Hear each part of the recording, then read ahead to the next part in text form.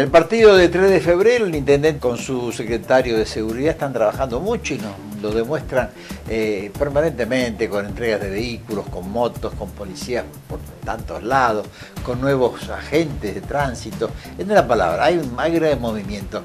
Pero hay cosas que quizá usted no sepa. ¿Qué es lo que está pasando trastiendo? O sea, lo que se ve son las policías, los autos, las motos, como les decía.